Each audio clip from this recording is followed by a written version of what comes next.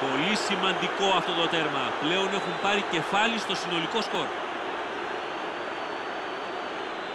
Αυτός είναι ο ορισμός της χρυσής αλλαγής. Αυτό είναι το ποδόσφαιρο.